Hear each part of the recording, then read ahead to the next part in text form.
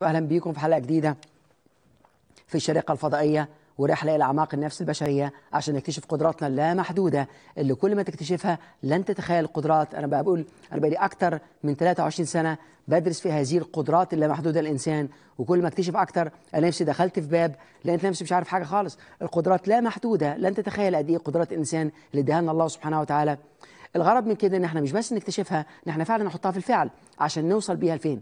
عشان نقدر نعيش أحلامنا ونحقق أهدافنا. آه الحلقات دي لما نتكلم في قوة بنسميها الحقيقة إنها القوة الذاتية. القوة الذاتية لأن القدرات لا محدودة. القوة الذاتية اكنها محطات توصل من الأول لغاية الآخر ومستمرة في الزمن. لما توصل في أول محطة في القوة الذاتية هي قوة الإدراك. والحقيقة أنا بحب أراجع تاني باستمرار عشان اللي سمعها قبل كده يسمعها وفعلا يحطها في الفعل. واللي ما سمعهاش يبقى عارف بالظبط إحنا بنقول إيه. أول حاجة قوة الإدراك. الإدراك في ست حاجات أساسية. عندك الإدراك الروحاني وبعدين الإدراك الصحي والإدراك الشخصي إدراك علاقاتك والإدراك المهني وبعدين أخيرا الإدراك المادي. زودنا عليهم حاجات حاجتين كمان. الإدراك الحسي اللي هي أحاسيسك. بتحس بإيه؟ مدرك عامل إزاي؟ إيه أحاسيسك فين دلوقتي؟ وبعدين أخيرا ال الإدراك إدراك إدراك إدراكك لسلوكياتك. وهسألك كمان مرة. يا ترى أخبارك إيه دلوقتي؟ لما أدركت الجزء الروحاني في حياتك عملت فيه إيه؟ يا ترى بدأت تتقرب أكتر من الله سبحانه وتعالى؟ بدأت فعلا تقوم تصلي الفجر؟ بدأت اتعلمت إزاي فعلا تتسامح أكتر وأسرع؟ بدأت تحس إنك فعلا عطاء بتسمع الناس أكتر؟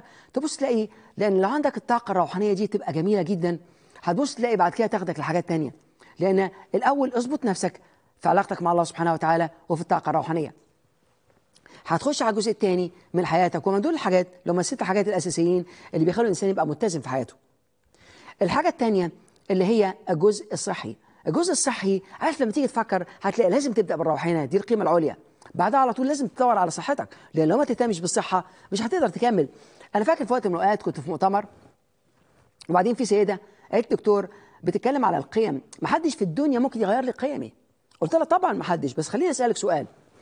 إيه أهم حاجة في حياتك؟ وعلى فكرة ده سؤال قيم لما تسأل إنسان إيه أهم حاجة في حياتك؟ في حاجة معينة الرد قيمة. إيه أهم حاجة في حياتك دلوقتي قالت لي أولادي. قلت لها طب هسألك سؤال. لو صحتك كويسة هتساعدي أولادك أكتر؟ لا. قالت لي طبعا. ولو انت تعبانة وعيانة وكل يوم في المستشفيات هتضايقي أولادك ولا قالت لي مش بس هضايقهم؟ ده ممكن يعني أحطمهم تماما. قلت لها كويس جدا. طب إيه أهم حاجة في حياتك دلوقتي؟ قالت لي صحتي. قلت لها مين اللي اداك الصحة؟ قالت لي الله سبحانه وتعالى. يبقى مين أهم حاجة في حياتك دلوقتي؟ قالت لي الله سبحانه وتعالى. وبعدين؟ قالت لي الصحة. وبعدين؟ قالت لي الأولاد. قلت لها تعرفي؟ على ما نخلص خالص الأولاد هيبقوا نمره 33 مش معنى كده إن الأولاد يعني الحاجة سلبية لأ. القيم مش مترتبة مظبوط. لازم تبدأي بالقيمة الروحانية لازم تبدأي بالله سبحانه وتعالى لأن هو ده هو الأول والآخر هو ربنا سبحانه وتعالى خلقنا عشان نعبده. فلما تدي له كل حبك تبص تلاقي الإنسان بعد كده مرتاح ماشي في الدنيا مرتاح نفسيا عارف إن الله سبحانه وتعالى معاه. ما ينساش دي. فأول حاجة لازم تكون الجزء الروحاني بعدها على طول لازم يكون الجزء الصحي لأن جزءك الصحي من غير الصحة هتروح فين؟ فتبص الجزء الروحاني وبعدين الجزء الصحي وبعدين الجزء الشخصي. الشخصي داخل فيه راحتك النفسية داخل فيه الأجازات اللي انت بتاخدها داخل فيه تعليمك ومهاراتك. نميت نفسك قد إيه؟ إنك بتقرأ كل يوم 20 دقيقة ولا لأ؟ على الأقل إنك بتستمع لأشرطة سمعية في سيارتك وفي أي مكان وأنت بتتمشى تتمشى تشم هواء نظيف مثلا على على على على الشاطئ وأنت عمال تسمع أشرطة يعني بتشم هواء نظيف وبتمشي نفسك وبتتعلم يعني روعة كله في نفس الوقت. وحتى لو انت قاعد بتتفرج على فيلم أو اي حاجة عايز تشوفها في التلفزيون أنا قلت لك اشتري لك عجلة بالحاجات بسيطة جدا ورخيصة وتقعد قدام التلفزيون وانت عمال نفس الشيء بتشغل ذهنك وبتشغل جسمك وتستفيد ما تضيعش وقت على الفاضي. فادي الجزء الصحي اللي داخل فيها الأكل داخل فيها كمية المية اللي بتشربها كل يوم داخل فيها نوعية الأكل اللي بتاكله داخل فيها التحركات اللي انت بتعملها بجسمك لازم تحرك جسمك وداخل فيها الأفكار الصحية. ودي هتاخدك بعد كده للجزء المهني. قصدي هتاخدك بعد كده من شخصيتك هتاخدك لعلاقاتك مع الآخرين. يا ترى علاقاتك مع نفسك إيه؟ مع أولادك إيه؟ مع زوجتك إيه؟ مع زوجك إيه؟ العلاقات دي مهمة جدا. ولو ما تعرفش اتعلم نمي نفسك باستمرار. مليان كتب وشرايط. اتعلم اقرأ. حط في سيارتك اسمع. وبعدين اشتري فيديوهات. كلكم تقعدوا تتفرجوا عليها. فتبص لي بتتعلم وتنمي نفسك باستمرار. بعد كده توصل لحياتك اللي هي المهنية. لازم توصل لمرحلة تكون أحسن حاجة في اللي أنت بتعمله. ادي كل اللي تقدر عليه. وأكتر كمان شوية. لشغلك عشان خاطر الشغل ده بيديلك فلوس والفلوس دي هتتحاسب عليها تحاسب عليها. في يوم من الأيام لازم تدي أكتر من إنك بتاخد وخليك مميز ومتميز في اللي أنت بتعمله. وحتى لو عايز تخرج عايز تروح مكان تاني عايز تمشي بس باستمرار سيب طاقة إيجابية في المكان ده ادي كل اللي تقدر عليه. مالكش دعوة بغيرك. لو حد يقول لك لا ما تشتغلش كتير لأن في مثل يقول لك لو اشتغلت كتير تغلط كتير تترفد.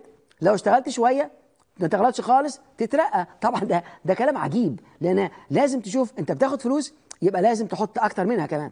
غير كده بتتعود على اللي انت بتعمله. هتبقى هتت- هتتكرر وبعدين تبقى عادة. عشان كده لازم تحط أحسن حاجة ممكن تقدر تحطها.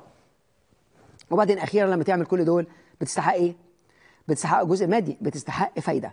فتبص تلاقي الفلوس بتنجذب إليك من كل مكان لأنك تستحقها. المهم بقى بعد كده إنك تعرف إزاي تطلعها صح تطلع لله سبحانه وتعالى تطلع للغلابة تدي تساعد الجوامع. عارف تبص تلاقي نفسك الطاقة المادية اللي عندك أصبحت جميلة جدا لأنك بتعرف إزاي تدي فبترجع لك تاني من نفس النوع.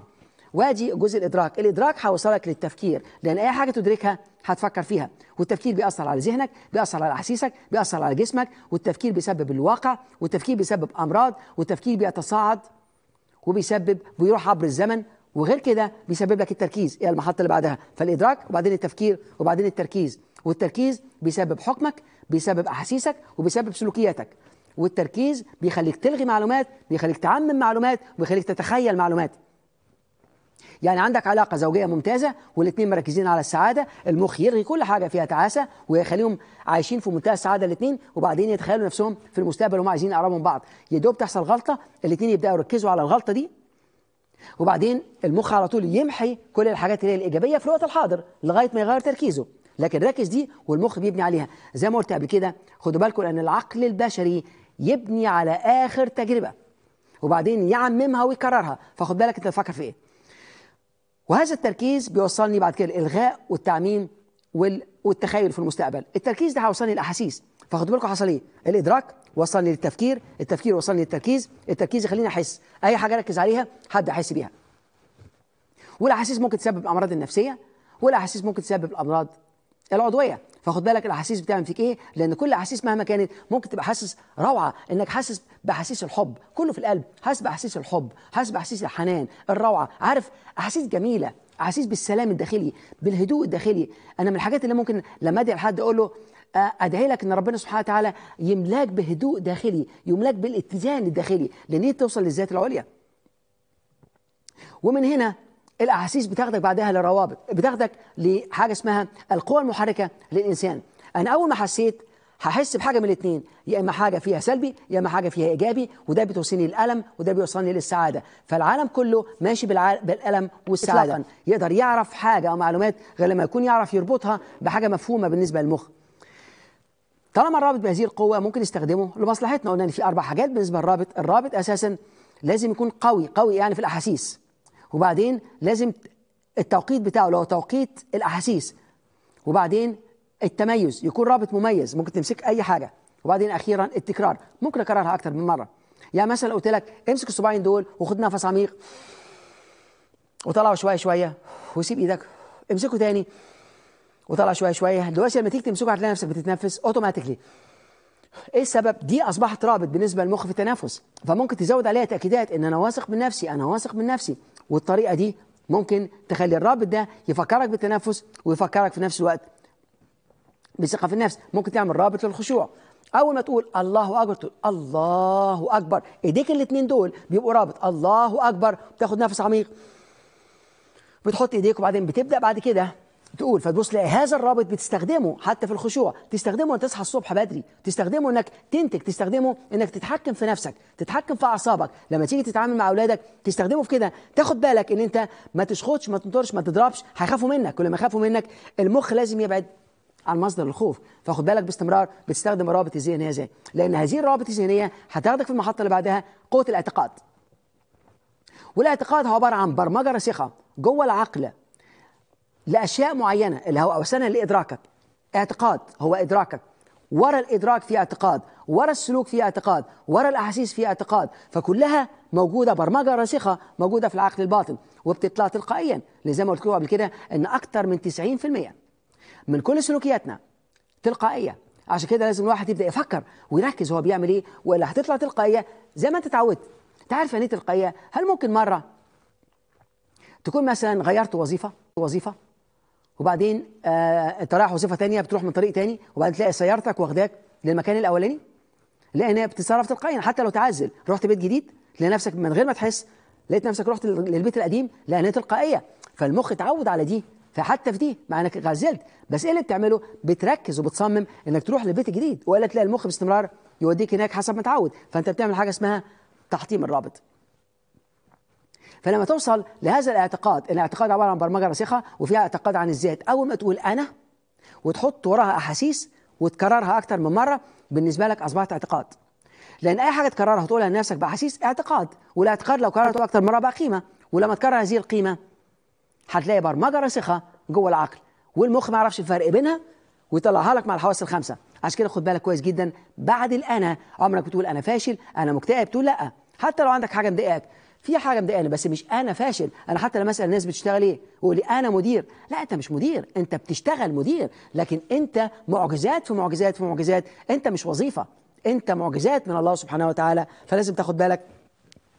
فرق بينك وبين شغلك. عشان في يوم من الأيام لو حصل أي حاجة في شغلك أنت لازال عندك قدرات لا محدودة. هتدور إن شاء الله وتلاقي شغلانة ثانية فلما تقول أنا وتحط وراها حاجة دي اعتقاد عن الذات. بعد كده عندك اعتقاد عن بما الأشياء اللي يعني المعنى. عندك اعتقاد عن المعنى. معنى إيه؟ دي معناها إيه؟ معناها إيه إن أنا تعبان؟ معناها إيه إن أنا بشتغل؟ معناها إيه إن أنا في البيت؟ معناها إن أنا لازم أخرج؟ معناها إيه إن أنا بتخانق؟ المخ باستمرار يدور على منطق. وبعد كده عندك اعتقاد عن السبب. سبب إيه؟ بسبب إيه؟ يعني الشخص ده بينرفزني. إيه السبب؟ الشخص بيديني حاجة. إيه السبب؟ فعندك قانون السببية إن حاجة بتسبب حاجة. وبعدين عندك اعتقاد عن الماضي وفي اعتقاد عن المستقبل وقلنا عشان خاطر تغير اعتقاد اولا اكتب الاعتقاد السلبي اكتب على الأقل خمس حاجات بيسلبك منها اكتب الاعتقاد الإيجابي اكتب على الأقل خمس فوائد بتكتسبها وامشي على خط زمنك. هتبص تلاقي التغيير بيبدا يحصل وبعدين شوف المصادر اللي هتستخدمها شوف التحديات اللي هتقابلك وتبدأ على طول في اعتقاد شوية شوية هتبدأ تلاقي اعتقاد السلبيه تبدأ تتغير. والاعتقاد هيوصلك بعد كده معتقد يوصلك للثقة في نفسك. الثقة ما هياش حاجة بتعملها وخلاص إن حد يقول لك ده واثق بنفسه بيتحرك. الثقة أبعد من كده بكتير. الثقة إنك واثق إن أي حاجة تعملها مهما كانت التحديات برضه هتنجح. مهما كانت التحديات برضه هتنجح برضه هتصمد. عجبتني جدا إن في حكمة ياباني يقول لك إزاي؟ لو وقعت أربع مرات اقف خمسة لو وقعت خمسة اقف ستة لو وقعت ستة اقف سبعة. لغاية إمتى؟ لغاية ما تحقق هدفك. فتبص تلاقي الشخص ساعات لما يوصل لحكاية الثقة يقول لك الثقة عشان أنا ما عنديش ثقة في نفسي في التحدث امام الجمهور. مش مهم بس انت عندك ثقة في حاجات تانية كتير لكن الشخص بيعمم. فلازم تفصل باستمرار. إيه الحاجة اللي انت مش واثق نفسك فيها؟ وعندك حاجات تانية كتير واثق في نفسك فيهم فخد بالك بالظبط ما تعممش. تقول أنا الثقة في النفس عشان توصل لها دي مرحلة. قبلها في كذا حاجة. أول حاجة اسمها المفهوم الذاتي. المفهوم الذاتي هو انت إيه بالظبط؟ إدراكك للأشياء. أول ما اتولدت ما كانش عندك لغة. جات لك لغة من الأب والأم الأول وبعدين اتكررت.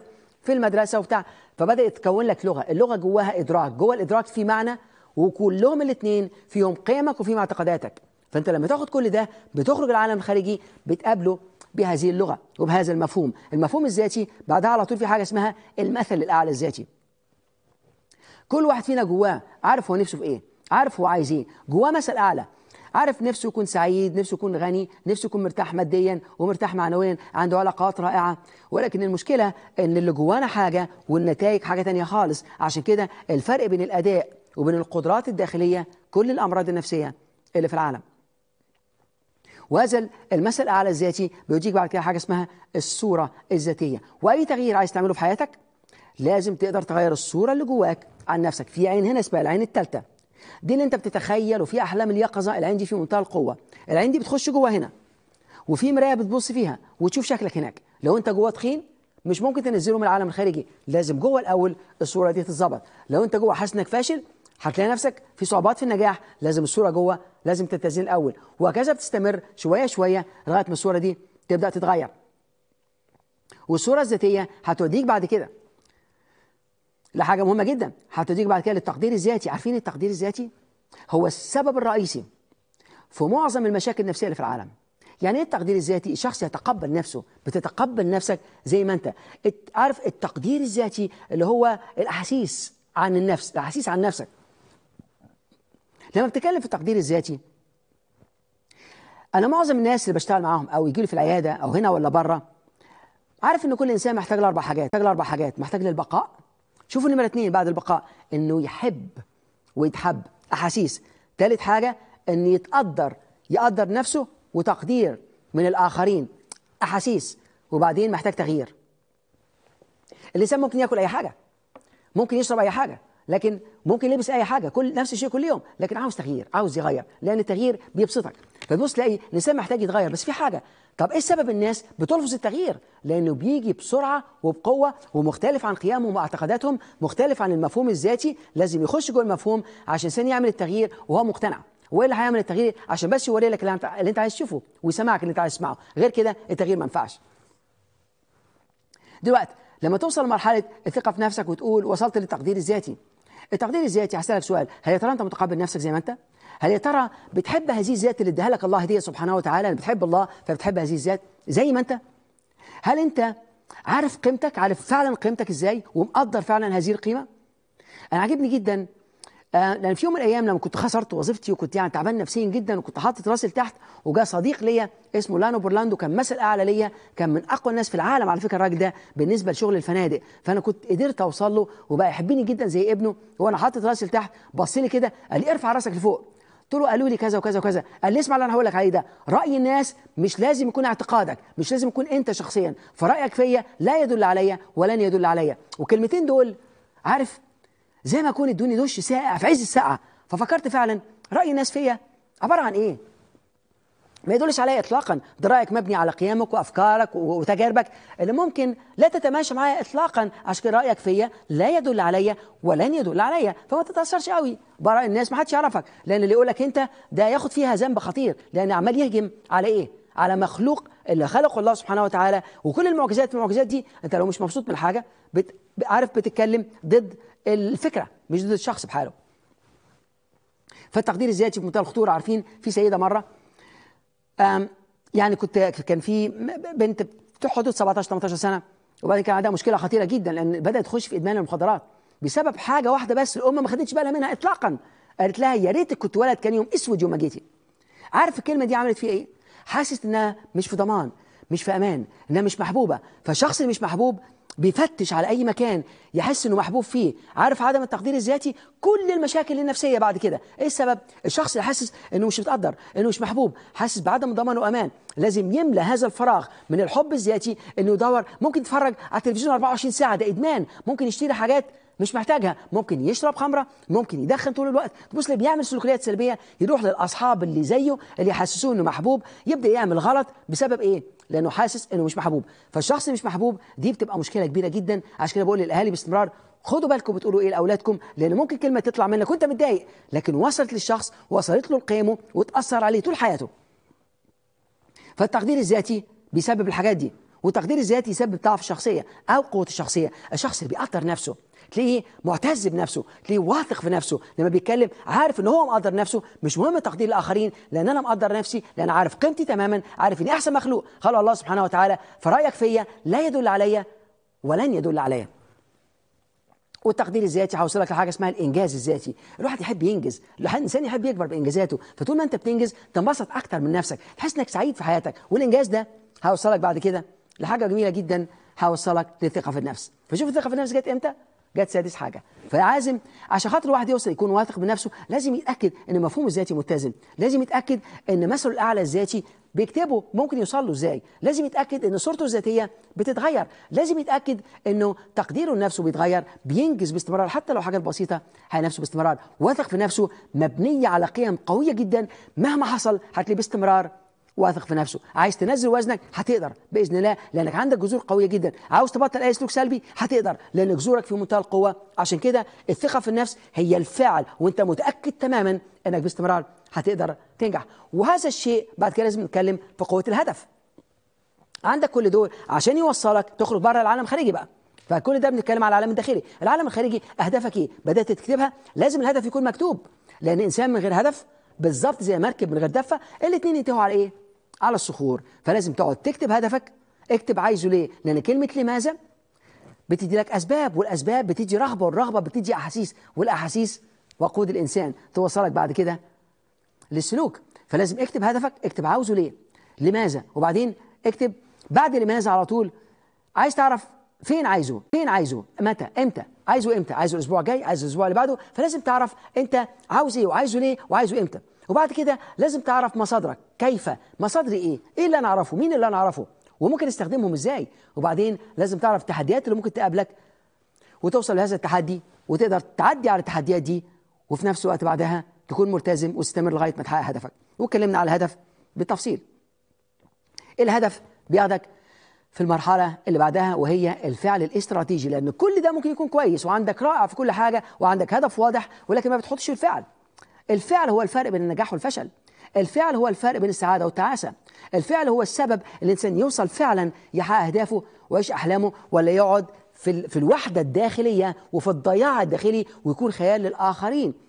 الفعل هو اللي بيثبت الإنسان فعلا ناجح ولا لأ. إن الإنسان بيتكلم كتير لكن ما بيعملش حاجة. ففي ناس كتير بيكون بيتكلم كتير ويقول لك هيعمل إيه وهيعملها إمتى وهيعملها إزاي وعمال يغطي وعمال يكذب لكن هو ما بينفذش حاجة بيوصل لمرحلة ما بيعملش حاجة ممكن تناسبه. إيه السبب؟ لأن جواه في الخوف من الفشل الخوف من الاعتراض الخوف من المجهول الخوف من الاستهزاء في أصناف من الخوف. عشان كده بتسأل نفسك باستمرار وانت بتحط الفعل الفعل الاستراتيجي. إيه أسوأ حاجة ممكن تحصل لي وايه أحسن حاجة ممكن تحصل لي؟ وبتتعامل مع الأسوأ وبعدين بتتبنى الأحسن وتحطها في الفعل. الفعل الاستراتيجي بيكون من كذا حاجة. أول حاجة التخطيط إنك بتخطط.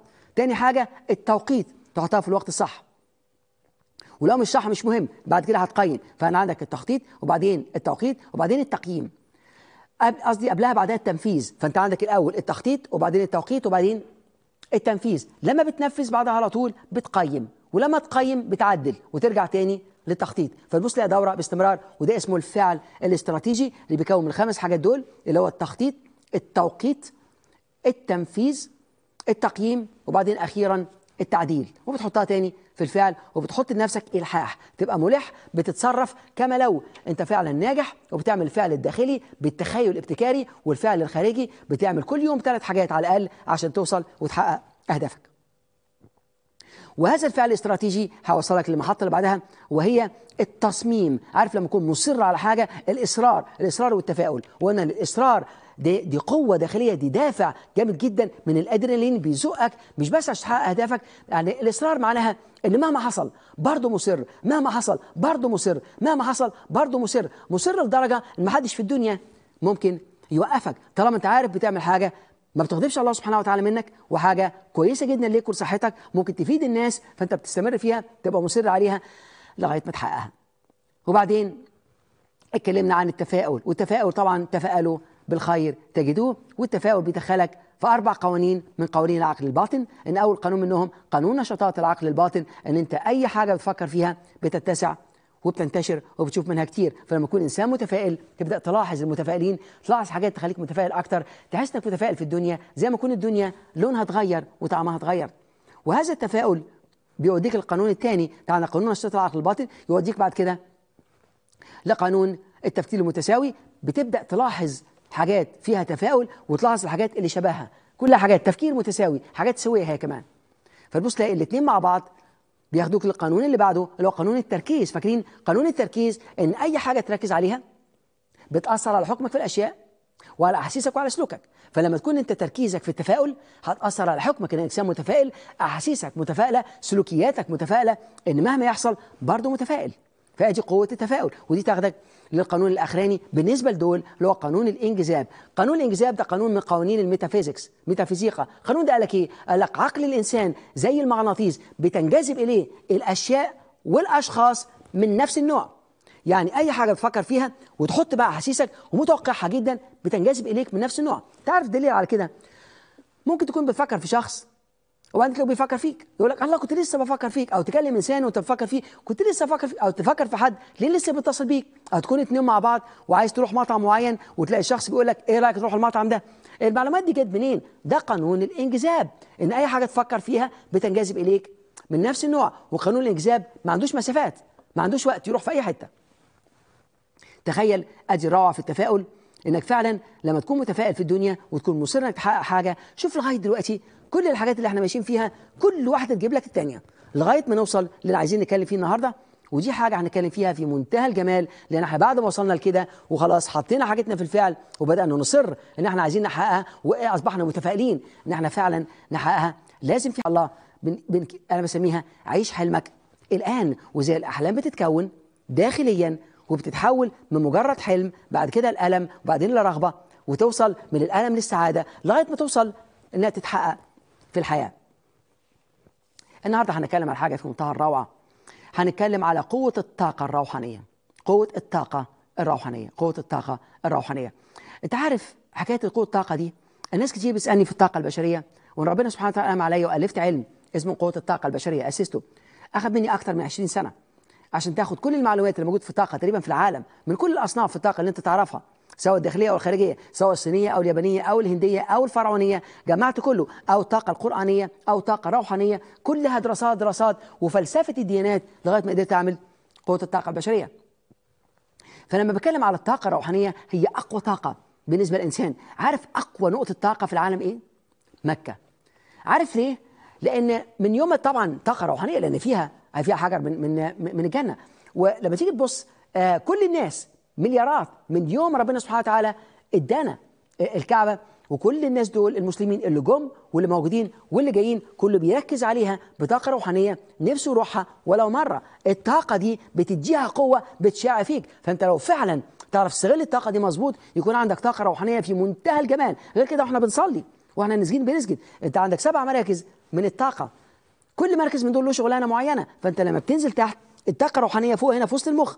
على فكره في وسط المخ فوق. في حتة اسمها pineal الجراحين زمان كانوا فاكرين إنها الروح لأن لو جه جنبها وعمل فيها أي غلطة ممكن الشخص يموت. فال pineal دي أو ال pineal كان اللي هي دي طاقة روحانية. بيخش لك منها طاقة روحانية. كل يوم من الله سبحانه وتعالى طاقة نقية بتخش جواك في الأفكار.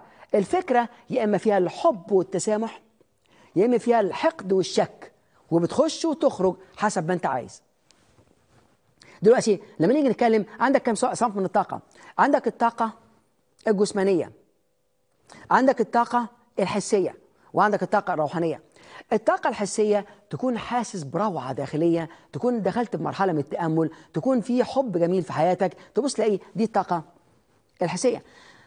الطاقة الجسمانية الطريقة بتاكل بيها بتتحرك بيها بتتنفس بيها دي تديك الطاقة الجسمانية. أما الطاقة الروحانية حاجة تانية خالص. الطاقة الروحانية أقوى طاقة ممكن تاخدها في العالم. بتخش لك من فوق من هنا. طبعا الروحانية بتوصل للذهنية للذهن وبعدين بتوصل للحلقية الحلق توصل للقلبية في القلب توصل للذاتية وبعدين توصل للوجودية وبعدين توصل بعد كده للجذرية كل دول طاقات كل طاقة بتجيب لك الثانية بتنزل لك من الطاقة الروحانية. تلاقي نفسك طاقة متزنة ولا لا. بنتكلم كتير على الطاقة. عملنا حاجات في الطاقة في منتهى جمال. أتمنى في يوم من الأيام أبقى أشوفكم فيها. هسألك سؤال. إيه السبب إن الناس في رمضان بتتغير؟ إيه السبب الناس في رمضان بتتحول تبقى روحانيين فجأة؟ هل تعرف حد يكون من النوع العصبي جدا يمسك نفسه تماما في رمضان؟ ويا دوب يخلص رمضان يرجع تاني عصبي زي ما كان. إيه السبب؟ زي ما يكون مستني زي ما يكون صعبان عليه شهر بحاله. في ناس بيكون بتدخن ما يدخنش طول الشهر على فكرة وبعدين يرجع يدخن تاني مع إن لو لو بطل حتى لو بطل يوم ممكن يكمل عليها شوية شوية لكن شهر بحاله ويرجع تاني مستني. إيه السبب إن الناس اللي بيشربوا الكلام ده كله بيبطل في الشهر ده؟ لأن في طاقة روحانية جميلة جدا بتبقى أنت جاهز لها قبل ما يجي رمضان بس أول ما رمضان بيبدأ يبعد بتبقى بتجهز نفسك إنك هتخرج. بس لو إنسان يكمل على هذه الطاقة يبقى رائع. عشان كده باستمرار. لازم تفكر في الروابط اللي اتعلمناها مع بعض. تعمل لك رابط لرمضان تاخد رابط من رمضان وتخرج بيه بعد رمضان. يبقى كل سنة بالنسبة لك شهر رمضان. أنا خدت تاكس مرة كنت بلد من البلاد وكنا في رمضان. وبعدين إحنا ماشيين بالتاكس الراجل عمال يقول اللهم إني صايم اللهم إني صايم شهر رمضان شهر جميل. وبعدين فجأة كسر عليه واحد. راح باصص له كده وراح مكشر وراح متنرفز. واللي تعرف أنا مش هكلمه عشان خاطرك بس وأنا مش هروح وراه عشان ما أخسرش صيامي وبعدين فجأة قعد يفكر وراح جاري وراه. قلت له إيه إيه اللي بيحصل؟ قال لي هفطر عليه النهارده. إيه إيه اللي هتفطر عليه؟ هتاكله؟ إيه يعني هتفطر عليه؟ قال لي أنا ح... وبعدين هبقى أوصلك. فتبص تلاقي الشخص ضيع كل ضيع كل صيامه على الفاضي لأن حد نرفزه العالم الخارجي نرفزه. كان في سيدة اسمها جوان سوفي تايلر كانت مديرة التسويق المبيعات عندي. في فندق من الفنادق اللي أنا كنت مدير عام فيهم لما حد يقول لها إزيك النهارده؟ تقول له رائعة ومحدش هيغيرها. عارف يعني إيه؟ أنا رائعة ومحدش هيقدر يغيرها لي. العالم الخارجي ما يأثرش فيك. أنت صايم حد قال لك حاجة ولا حد بتاع. تضيع كل اللي أنت عملته خلال اليوم عشان حد ضايقك. تضيع صيامك كله عشان حد ضايقك. هل دي تساوي؟ هل دي تستاهل؟ عارف لما عارف لما أحطها في الميزان؟ هتلاقي بتاع ده كلام فارغ ما تستاهلش اطلاقا. عشان كده لازم توصل لمرحلة تفكر إيه اللي يناسبك إيه اللي أنت عايزه. إيه اللي انت تتمناه في حياتك. الطاقة الروحانية في منتهى الروعة. تبص تلاقي الناس في رمضان آخر وبعد رمضان لأ. وخصوصا لما الناس تعرف إنها هتموت. لما يجي الدكتور مثلا يقول لك تقول له تعرف؟ أنت هتموت. ياه! يبدأ بقى عايز الناس كلها تسامحه والناس كلها تحبه ويكلم الناس كلها القريب والبعيد. إيه السبب؟ طب أنت عارف إنك هتموت. هو في حاجة حقيقه في الدنيا الا دي؟ دي الحقيقة. الباقي كله الباقي كله إحنا إدراكات. الباقي كله أنا أحب جدا لما حد يقول لي في الواقع. أنهي واقع؟ الواقع بتاعك أنت مش بتاع أنا. قول لي الواقع. الواقع بتاعك عامل إزاي؟ وأنا اتحداك فيه للصبح. الواقع مبني على قيمك وإدراكك وأفكارك ومنطقك انت. أنا عندي مختلف عنه تماما. لكن إذا كان في واقع بقى حقيقي هو الموت. فلما أنت عارف كده لما دكتور يقول لك أنت هتموت تبدأ بقى تتغير. قال يعني قال لك حاجة ما كنتش تعرفها. فتبص تلاقي غير لك الواقع. فالإنسان لما يكون الإنسان لما يكون وصل لمرحلة من الحسيات العالية والروحانيات العالية يبدأ يتجه أكثر الله سبحانه وتعالى. عارفين كل الأمراض اللي بتحصل لنا في الدنيا؟ كل الآلام اللي تجينا في حياتنا كل الخوف اللي عندك عشان ثلاث أسباب. السبب الأولاني تقرب أكتر من الله سبحانه وتعالى والدليل على كده أي حد بيتوجع على طول يقول يا رب وتبدأ تقرب أكتر من الله سبحانه وتعالى. عارف دي الحاجة الأولانية. الحاجة الثانية إنك تبعد عن سلوكيات. تبعد عن سلوكيات معينة أنت ما مبسوط منها أو سلوكيات ما تناسبكش. تكون العصبية أو التدخين أو الفتنة أو النميمة أو الغيبة أو الزنا أي حاجة مش مظبوطة. الوقت حان إنك تبعد عنها. والحاجة الثالثه إنك تحسن نفسك وتكبر بقدراتك الحقيقية وتوصل للشفافية. أجي الروعه في إنك بتحصل لك حاجة. وتعرف لو ما تعلمش الدرس يستمر الخوف يستمر الألم بس دي البداية. أنا قد حد يجي لي في استشارة ولا ولا عندي في عيادة بسأله من ضمن الأسئلة قول لي إيه اللي أنت اتعلمته من ده؟ لما حد يقول لي دكتور تعرف والله أنا عندي سرطان. طبعا أنا بقول حكايه السرطان دي له دكاترة متخصص أنا لازم ابعته للدكاتره لازم ابعته للمستشفى ولكن كل ما في الأمر في حاجات ممكن نساعد بيها تكون مكملة. فشخص يقول قول لي إيه الرسالة اللي أنت اتعلمتها القيمة العليا اللي اتعلمتها واللي تعرف قربت أكثر من الله سبحانه وتعالى؟ طب إيه الرسالة اللي اتعلمتها؟ الحرص. أصبحت حريص أكثر على صحتي. أصبحت بخاف أكثر وأنا بقول كلام لأن كنت من النوع اللي بحكم. كنت من النوع اللي بلوم كنت من النوع بعمل الغيبة والنميمة والفتنة وأعمل حاجات مالهاش لازمة اطلاقا. فكنت بضايق الناس فتعلمت إن أنا ما أعملهاش تاني. تبص لما تيجي تفكر بهذا الأسلوب أسلوب في منتهى الجمال. اتعلمت. فلاقي الشخص طالما اتعلم يبقى المرض مش المفروض يكون يكون موجود. لأن جواه خلاص مش حاسس بذنب إن حاجة حصلت له بيبقى جاهز. فيساعد جدا الدكتور إنه ممكن يعالجه. فتلاقي العلاج ممكن ياخد هل ممكن تعرف إن حد ممكن ياخد حباية في أسبرين مثلا أي حاجة عشان عنده صداع؟ وبرضه يستمر الصداع. لأن جواه مش جاهز. في ناس بتحس إنه لازم يتعاقب. عشان كده طبعا ده كلام مش مظبوط. دلوقتي أنتوا عارفين أنا بقول الإنسان بتجيله حاجات طاقة روحانية. أنا كنت بشوف أرقام كبيرة جدا من الناس كل سنة وباللغات الثلاثه إنجليزي فرنساوي وعربي وعمري في حياتي ما كنت أتكلم على حاجة اسمها روحانيات. إيه السبب؟ بره كل واحد مختلف عن الثاني عندك الناس اللي هم ديانات وديانات وديانات واعتقادات وأفكار. لو أنت تقعد تتكلم في حاجة واحدة هيسيبوك ويمشوا. وأنا شفت واحد اسمه بيتر لوي من أقوى الناس في العالم في فن المبيعات. جه على مونتريال وأنا كنت معزوم هناك وقعد يتكلم كلام كويس جدا. وبعد قال للناس في الآخر لو سمحتوا اقعدوا عايز أكلمكم حاجة. وبدأ يكلمهم على حاجة اسمها Scientology يا دوب بدأ يتكلم عليها في الدين وعاوز يقنعهم والكلام ده كله كلهم بدأوا يخرجوا.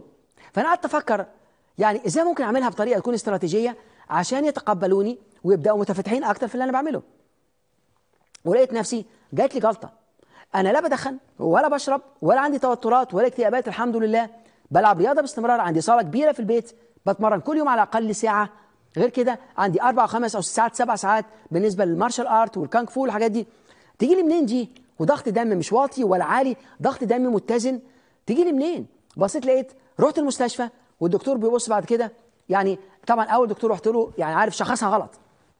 وقال لا أنت عندك شوية صداع روح تاني. وبعدين لقيت الصداع مش طبيعي صداع خطير جدا حاجة انفجرت في المخ. وكان خلاص ممكن أموت فيها. فرجعت تاني المستشفى بالأسعاف وبعدين الدكتور قال لك لا ثانية ثانية واحدة لازم نعمل أشعة ونعمل MRI ونشوف في إيه. على طول لما اكتشفها راح مكلم مستشفى ثانية في وسط البلد اسمها Montreal General Hospital في على الأسعاف على العناية المركزة فيها ست أيام. ودخل الدكتور ويقول بيقول زوجتي بيقول لها لو عدى عليه 24 ساعة يعني هنبدأ نعالجه. يعني 24 ساعة هيكون توفى. وأنا مستغرب إيه اللي حصل؟ طب ليه؟ جت منين دي؟ مستغرب. وبعدين طبعا بالليل كله بيمشي. أنا بعد كده بتبقى قاعد حتى لو معاك حد بتبقى تفكر بتفكر إيه اللي حصل؟ إيه اللي جوايا ده؟ وبعدين تبص تلاقي في حاجات بدأت تحصل لك إنك تتعلم الروحانيات. أنا شفته في وقت كنت لوحدي فيه. عيل صغير عن سبع صغير عن سبع سنين. جالي يقول لي أنت متضايق؟ أنا قلت مين ده؟ أنا ناقص. قلت له امشي يلا امشي امشي أنا مش ناقص. وبعدين قال لي أنت متضايق؟ أنا قلت مش هيسيبني. قلت له طبعا أنت فاكر إيه؟ قال لي لازم تتقبل الهديه أنا لقيت الواد بيتكلم في سنه الصغير ده بيتكلم كلام كبير. قلت له تعالى هنا. هدية من مين؟ قال لي من الله سبحانه وتعالى. قلت له عرف كده إزاي؟ قال لي خليني أكلمك عني الأول. أنا بكرة الصبح هعمل عمليه سرطان في المخ. احتمال نجاحها واحد في المية. يعني تقريبا أنا ميت ميت. لو كان الله سبحانه وتعالى عاوزني أكون لعيب سلة كان خلقني ستة متر. بس عايزني أكون صغير وعندي سرطان عشان أكتب الكتاب ده. كيف تتعامل مع السرطان في سن صغيرة؟ الكتاب باع منه 12 مليون نسخة. تخيل تخيل القوة. فوقني زي ما يكون ربنا سبحانه وتعالى باستمرار يبعت لك رسائل باستمرار يبعت لك انت فين. وحسيت وبعدين ساعتها جالي يعني بالليل جالي وجع خطير جدا. كان عندي صداع في منتهى القوة مش عارف. وجات لي سكتة قلبية وكان عندي مغص يعني قلت خلاص. وبدل ما أشد الجرس وأجيب حد اتجهت لله سبحانه وتعالى. قلت له يا رب انت صاحب المعجزات. انت اللي بتقول للشيء كن فيكون. وانت عارف أنا فين. لو كان ده وقتي بطلب منك انك تعجل بيه. وإذا كانش ده وقتي بطلب منك انك تساعدني وتشفيني انت صاحب المعجزات. يا رب العرش العظيم وخرجني منها وعلمني حاجة جديدة. أنا هنا ليه؟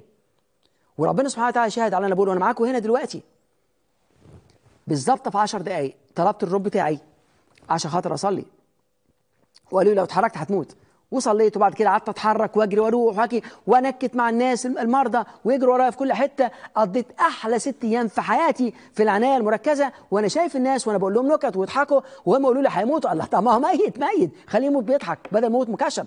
وصلت لمرحلة وتعلمت حاجة جديدة. اتعلمت زي ما يكون الله سبحانه وتعالى بيقول لي شوف أنت دلوقتي اتعلمت إيه؟ الروحانيات. وبعدها على طول الدكتور قال لي ما, تكلم ما, ما تخرجش. ولو خرجت ما تدرس. ولو عاوز تدرس مش عارفين نحكمك. بشويش بالراحة ما تحطش طاقة كبيرة فيها. وكان عندي شركة فرنسوية اسمها لورانسيان شركة متخصصة في التامين على الحياة. من أكبر الشركات في كندا. وكان حاجة اسمها planification des objectifs يعني تحديد الأهداف.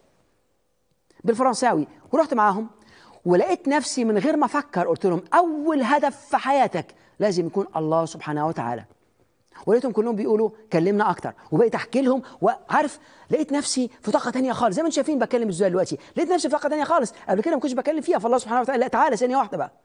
انت عندك القدرات دي عشان إيه؟ عشان بس نفسك؟ لا أنا عايزك توصل بعض الناس ليا.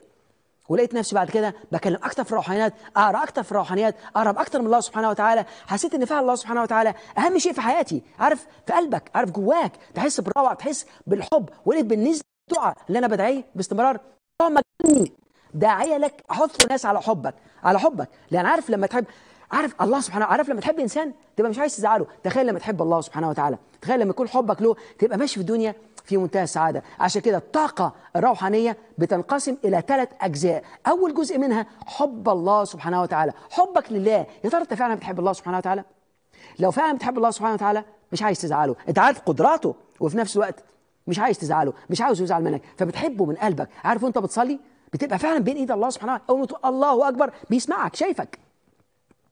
فتبقى كلك معاه. تبقى عارف كلك معاه. لما تستخدم الطاقة تستخدم الشكرات تلاقي كل الطاقة بتاعتك مفتوحة تنفسك مظبوط. حاسس إنك بإيدين بين إيدين الطاقة العليا القوة الرائعة اللي حواليك دي كلها. الله سبحانه وتعالى لنفسك بتصلي. عشان كده وأنت بتطلع وتنزل بيقول لك حتى تطمئن حتى تطمئن بتوصل فعلا اطمئنان تام لما تخرج من الصلاة وتكسر الحالة وتقول السلام عليكم ورحمة الله وبركاته والسلام عليكم ورحمة الله وبركاته. وبتخرج بعد كده وتحط نفسك في الفعل الطاقة الروحانية في منتهى الجمال. فأول حاجة حب الله سبحانه وتعالى. تعرف في قصص كبيرة جميلة طبعا. يوم القيامة الله سبحانه وتعالى في منادي بيقول ربنا بيقول أين المحبين في جلالي؟ اليوم أظلل عليهم يوم لا ظل إلا ظلي. طبعا أنتوا عارفين الكلام ده كله. ربنا اللي بيحبوه يوم القيامة بيضلل عليهم. ما فيش ظل غير لده الله سبحانه وتعالى. فالبص تلاقي ربنا بيضل عليك. دول محبين إنك بتحب الله سبحانه وتعالى. وده الحب الأولاني وده الحب الروحاني اللي فيه الذات العليا هي الذات الشفافة. الذات السفلى بتدافع عن نفسها. هي اللي بتغير هي اللي بتحقد هي اللي بتنقد هي اللي بتقارن هي اللي بتهاجم هي اللي بتشتم. ده الذات السفلى. لما تبص نفسك عمال تحكم على حد وعمال تتكلم كلام فارغ دي الذات السفلى. ودي هناك الشيطان. لكن لما توصل للذات العليا الذات العليا ذات روحانية ما يهمهاش كل الحاجات الدنيوية دي. كل يهمها حبك لله سبحانه وتعالى. بعد كده عارف ثم الدرس اللي انت اتعلمته من هذه الحياة عشان لما تقابل الله سبحانه وتعالى تقول يا رب أنا عرفت الدرس. وأنا حافظت على الصحة وحافظت على نفسي وبقرب منك على قد ما أقدر قد ما أقدر. وأنا حافظت على كل شيء أهو. حبك لله سبحانه وتعالى.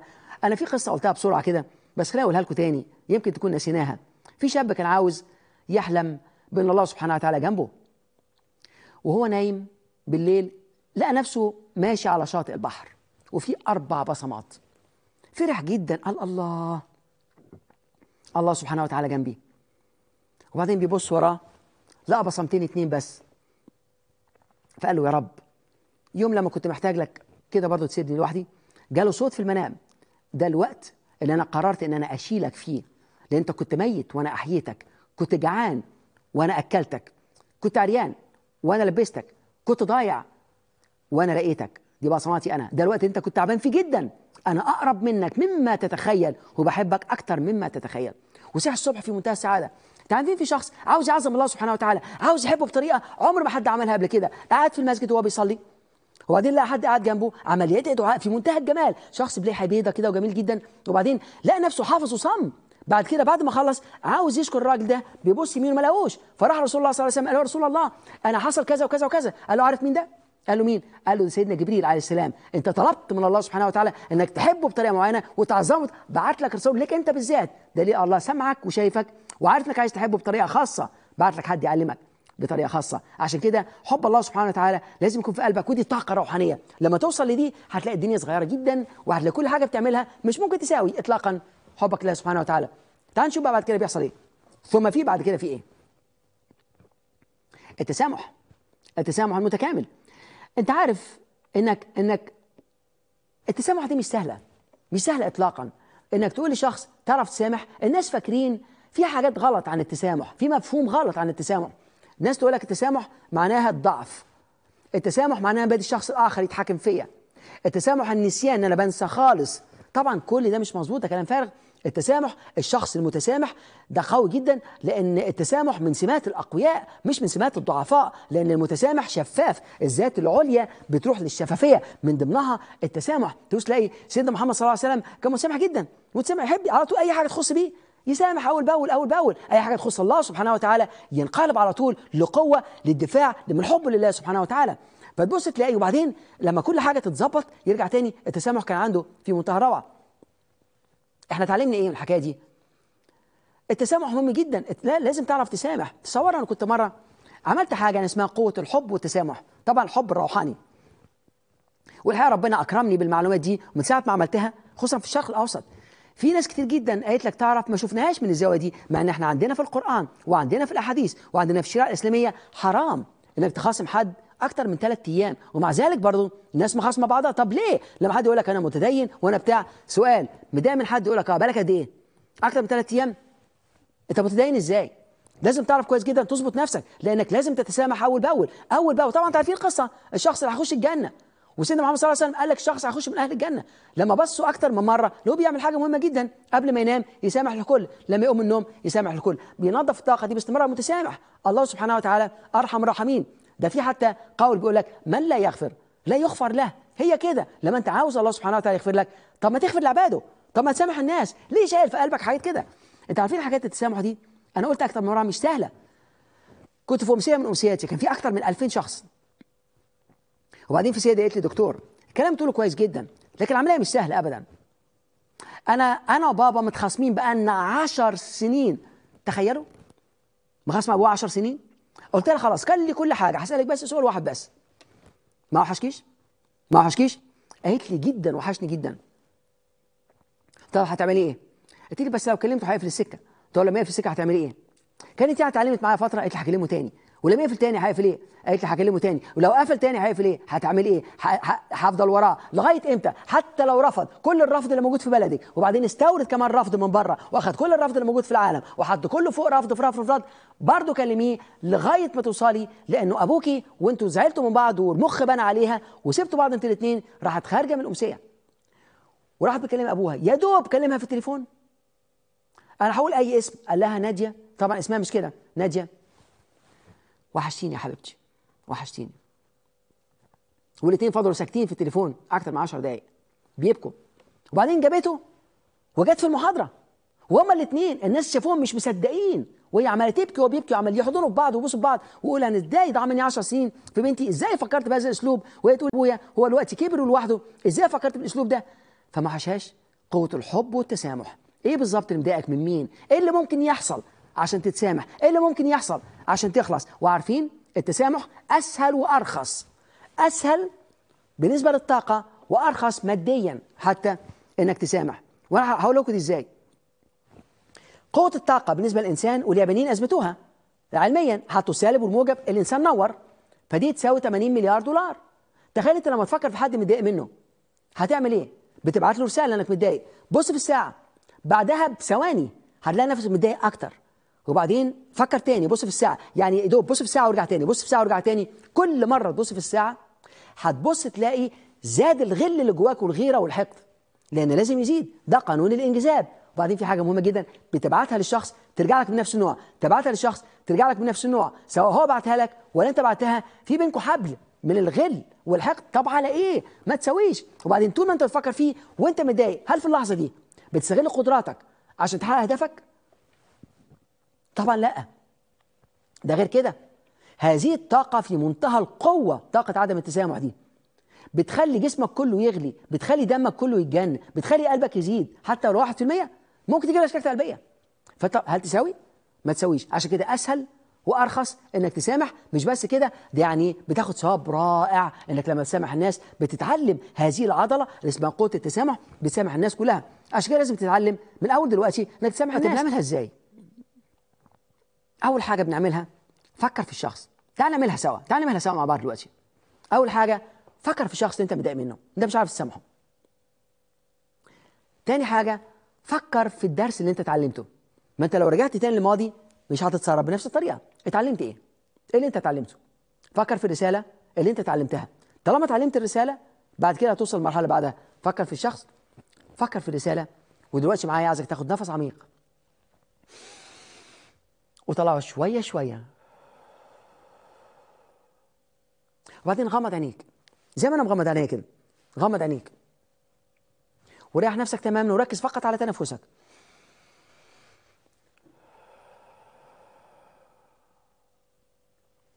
ودلوقتي فكر في الشخص. استدعيه في ذهنك. استدعيه هنا. استدعيه هنا في ذهنك. استدعيه. ومن كل قلبك قول له أنا مسامحك. دلوقتي خد نفس عميق.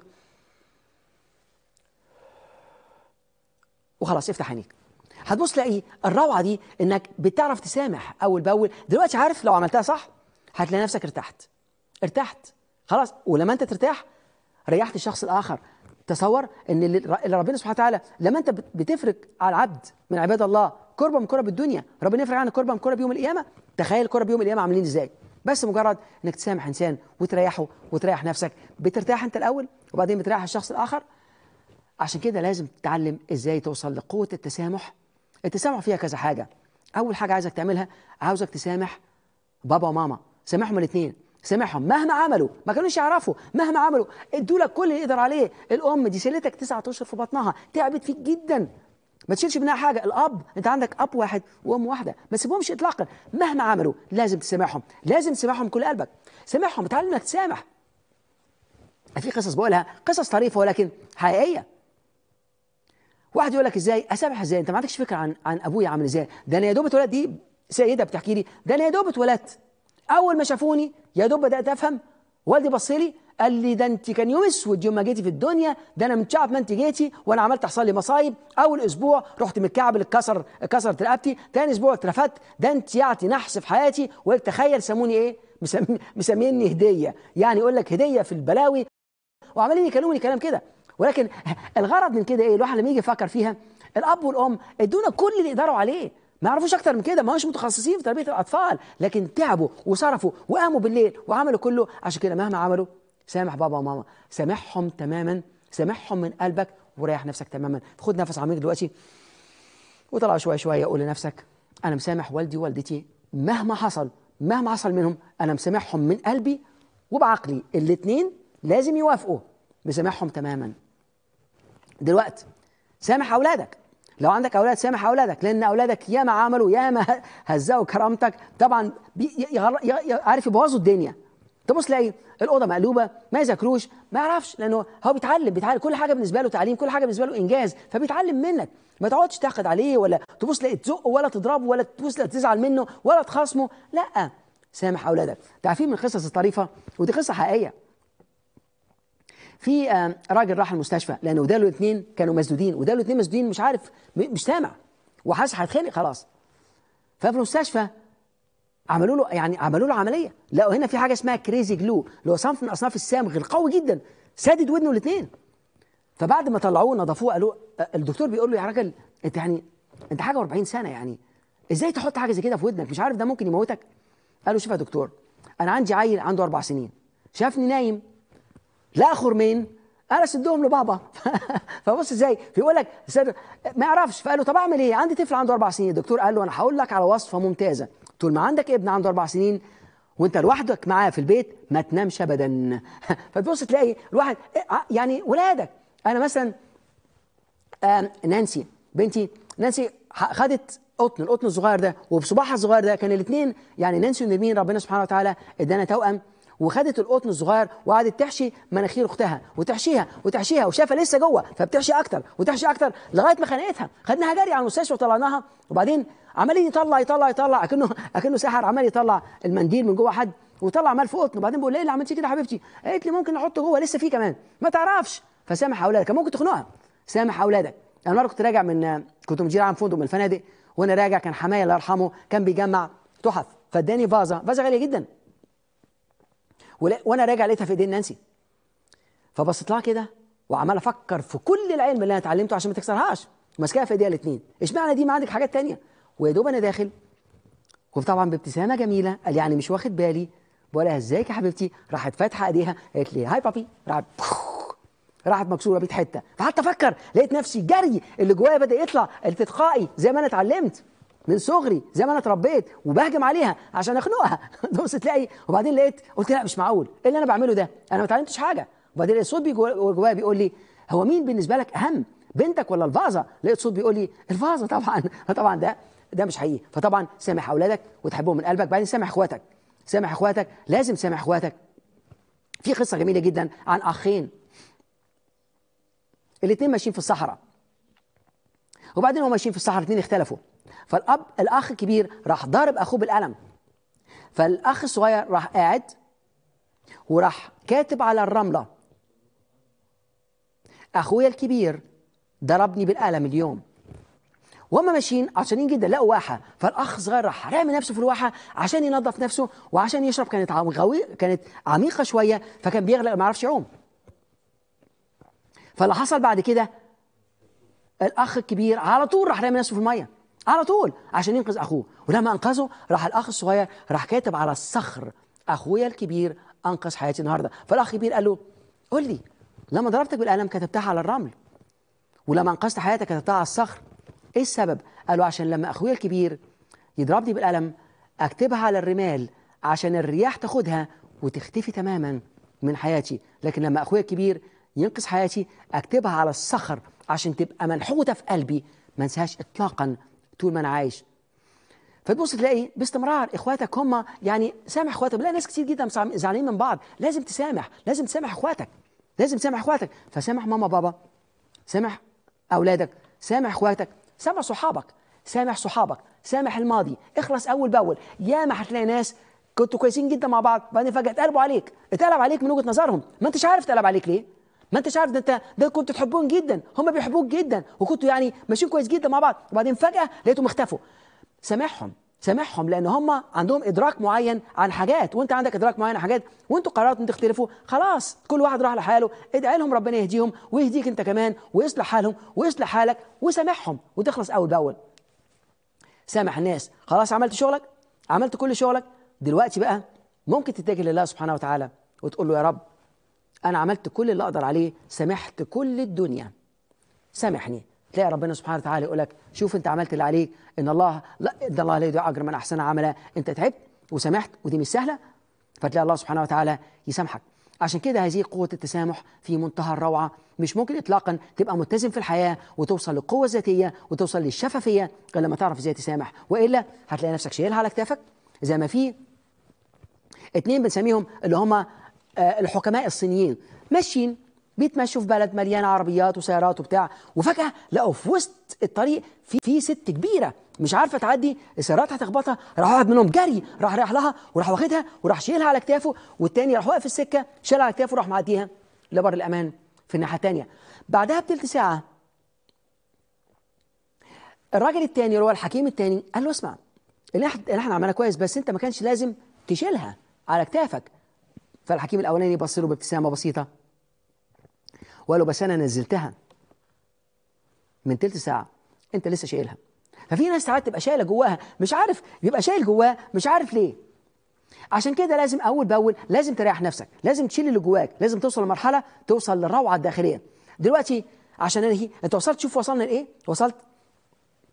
وصلت من الإدراك وصلت للتفكير وصلك للتركيز وصلك للأحاسيس وصلك للقوتين اللي هو السعادة والألم وبعدين وصلك للروابط الذهنية وصلك للاعتقادات الشخصية وصلك للثقة في النفس وصلك للأهداف وصلك للفعل ومن الفعل وصلت للتصميم وبعدين التفاؤل وبعدين أخيرا بدأت تفكر في قوة الطاقة الروحانية ومن أهم قوة الطاقة الروحانية حبك لله سبحانه وتعالى ثم بعد كده بتوصل لمرحلة إنك تقول أنا لازم أتعلم أسامح. لازم اعرف اسامح ولا ما عنديش طاقة روحانية مش هتمتع بكل ده. الشخص ما عندوش طاقة روحانية لازم يحصل له مصيبة. إيه السبب؟ شوف الناس الأغنياء شوف الناس الممثلين. ممثلين كبار جدا. هقول لك حاجة واحدة زي داليدا وأنا بقول اسمها دلوقتي حتى بالعلني. اتولدت في مصر من أب وأم طالعين كانت عايشة في شبرا. هدفها انها طول عمرها تسافر على فرنسا وتبقى من أقوى الناس في العالم. حصل وحلمها اتحقق. وبعدين مشت كانت غنية جدا. كانت شكلها كويس جدا عندها علاقات عندها كل شيء. وبعدين فجأة نسمع إنها انتحرت. إيه السبب؟ لأنها بعدت عن الخط الروحاني. بعدت عن الخط الروحاني. بعدت عن الاتزان الروحاني. بعدت عن الله سبحانه وتعالى. فتبص لنفسها لما بعدت ضاعت. ضاعت في الدنيا وبعدين دخلت في في الحقد والغل وال- والاكتئاب. واكتئاب ورا اكتئاب ورا اكتئاب. قالت لك لا أنا أحسن أخرج من الدنيا دي. وانتحرت. غيرها وغيرها وغيرها. الفيس بريسلي آه الناس يعني في عارف كتير جدا ناس يكونوا عندهم كل شيء ولكن بعد عن الخط الروحاني فإذا كانش تعرف تسامح هتلاقي نفسك شايل على كتافك طاقة سلبية جامدة جدا أكنك شايل جبل على كتافك عشان تقدر تحقق أهدافك وتعيش أحلامك فعلا وتوصل للقوة الذاتية بكل روعتها وتحطها في الفعل وتوصل للشفافية اللي نفسك فيها. لازم تربي هذه العضلة اللي اسمها عضلة التسامح وتوصل من أول النهارده وتعرف إزاي فعلا إنك تسامح. عشان كده مهما قلت لك مش هيكون كفاية إن ربنا يقدرك لأن أنا عارف التسامح مش سهل ساعات لأنك ساعات ممكن تقول أنا سامحت الشخص وبعدين لما تفكر تلاقي أحاسيسك تانية مشتعلة. عشان كده لازم القلب والعقل الاثنين يوافقوا. عشان كده فكر في الشخص فكر في الدرس اللي اتعلمته. وبعدين خش في استرخاء عشان ما تحكمش. وبعدين استدعي الشخص وسامحه. لو عايز تكلمه وسامحه. عايز تبعت له جواب؟ وسامحه. بس أهم حاجة إنك تسامحه تسامح متكامل وتتكل على الله سبحانه وتعالى هتلاقي نفسك ماشي في الدنيا بطاقة إيجابية وبروعة داخلية وبشفافية توصلك للسعادة التامة في حياتك. عشان كده باستمرار أنا بحب أختم بدي. عيش كل لحظة أكنها آخر لحظة في حياتك. عيش بالإيمان. عيش بحبك لله سبحانه وتعالى. ثم عيش بتطبع باخلاق الرسول صلى الله عليه وسلم. وبعدين عارف وانت بتعمل كده؟ عيش بتسامح. نمي هذه العاده التسامح. عيش بتسامح. وعيش بالكفاح. وعيش بالفعل. وعيش بالصبر. وعيش بالحب. وقدر قيمة الحياة. والسلام عليكم ورحمة الله وبركاته.